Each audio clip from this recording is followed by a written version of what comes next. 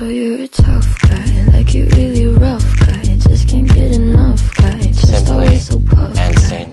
I'm that bad type, make your mama sad type, make your girlfriend mad type, might seduce you that type. I'm the bad guy. Duh.